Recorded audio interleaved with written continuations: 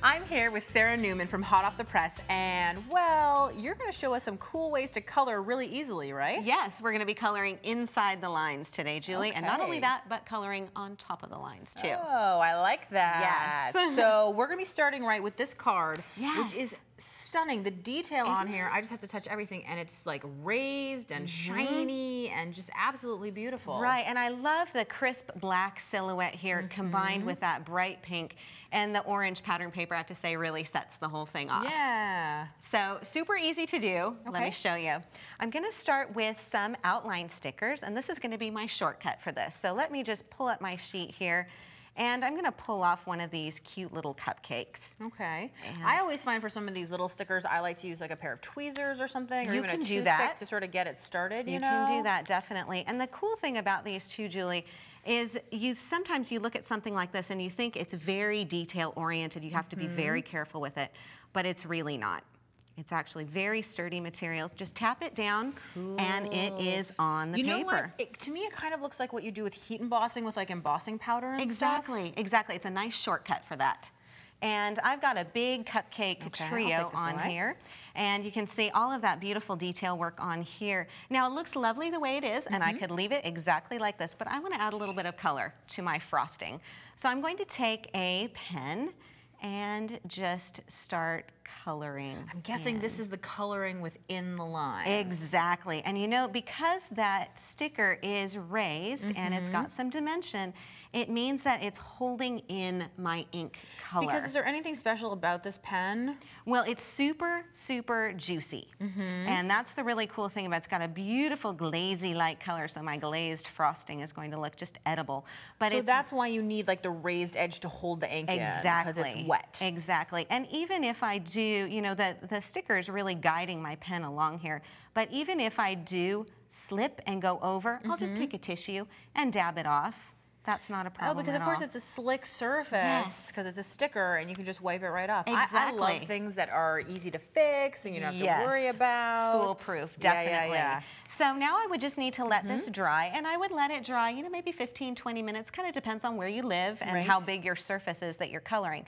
Now, once I let this dry, I can let it be, or I can come back with another color and float a second color on top of the first and get some real color oh. and dimension, which would be Oh. That's very really cool. cool. So that's how when I look at this finished piece, I can see this is very dimensional. The colors are so deep and interesting, and you feel that real mix, and that's from layering. Yes. But what if you what if you don't actually let it dry? Well, that's a good question because then you can get an effect something similar to this. And that's what's happened on this card. And you can see that beautiful autumn leaf has been colored with not only orange, but also a little bit of green.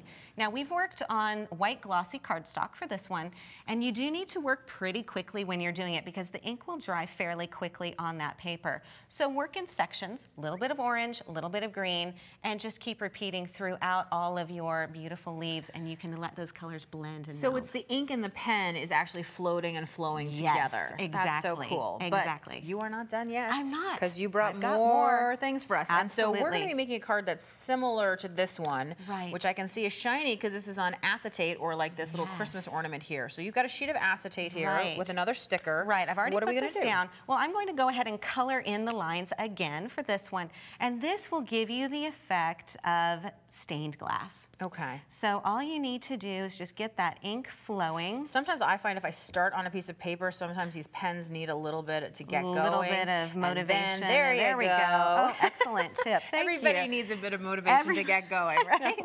I needed some this morning myself. I know. When my alarm went off, I was very scared. So there you go. Right. So here we go. I'm just going to color in the open areas of this I love how it just teacup. flows right across the acetate. You don't have to think about it. You're just filling in the space. And could you do that Mm-hmm. Same layering idea with this? Yes, absolutely. Again, you would just need to let it dry, and then you can come back and, you know, adapt however you want those colors Is that what you've done here? I noticed there are two colors inside this flower. There's two greens. And Yes. is that the same floating technique is where it just sort of same. flows? Absolutely, same floating technique.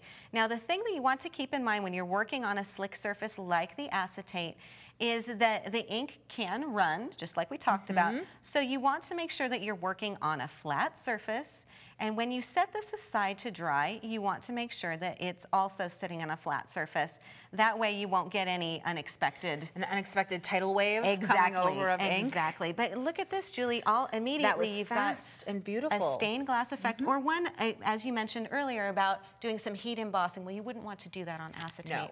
So you can get a nice Here's a great alternative, and I'm going to pass you this. Okay. Here's another really fun technique, and we talked about coloring on the lines. So I'm just going. Because to we're making this, which I noticed you're starting with silver, but this is not silver. Exactly. That's because I've colored it to the color that I want it to be. So I'm just going to leave my um, stickers on the sheet and take a permanent marker and just scribble this on.